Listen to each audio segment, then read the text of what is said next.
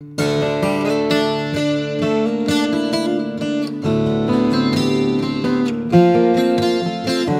good morning. Welcome back. We're in Exodus chapter 12, and we're looking at some of the instructions here about the Passover, verse by verse. Today, we're just going to look at verse 11.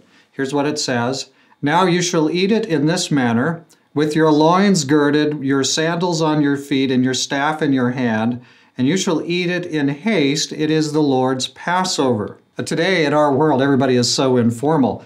They hardly want to dress up for a funeral or a wedding. But here we find a very particular instruction, only they're not to dress up. Here they're to dress like they're getting ready to go on the trip because, hey, they are. They're getting ready to go on a trip. And so they're to dress in, a, in this regular way, but they're to get their sandals on and a travel staff in their hand. And, and they're supposed to be more or less ready to go. Normally in the, in the home, normally you would take off your sandals at the door and not take them into your home. But here they're to put their shoes on when they eat. They're to have their travel staff. You don't usually have the travel staff in your home because somebody might trip over and fall over.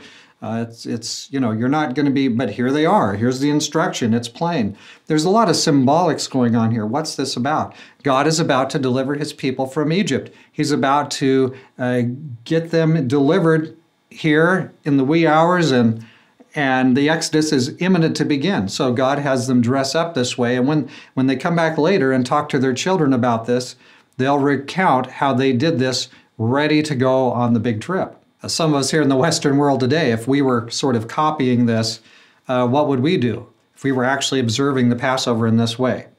Uh, well, I guess I guess we would get our cell phone and, and, make sure the battery's charged. We'd get our water bottle maybe and have that ready to go. We'd have our car keys and our wallet. We'd have whatever we needed because we're getting ready to go on a trip. So the people were dressed in a way to they could just look at each other and be reminded that the deliverance is near, it's imminent. We're just on the point of doing it. They, they, they were reminded and their faith was encouraged when they saw each other dressed this way. Deliverance is near at hand, and this was to inspire faith in them that deliverance was ready. Finally, one other point here, we read it in the text. This is not the Passover of the Jews. This is the Lord's Passover. God is celebrating their deliverance, and they are celebrating it with God. It is the Lord's Passover. God is thrilled. God has been looking forward to this day. What did Jesus say at the very end of his ministry when they had communion in the upper room, the Lord's Supper? He says, I with desire I've desired to eat this with you. And that also is sort of an echo of how God must have felt here on the night as he, we approach here the night of deliverance.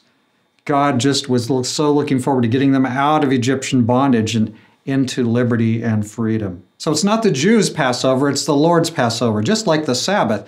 The Sabbath isn't the man's Sabbath, it is it's not the Jewish Sabbath, it's the Lord's Sabbath. It's it's his holy day.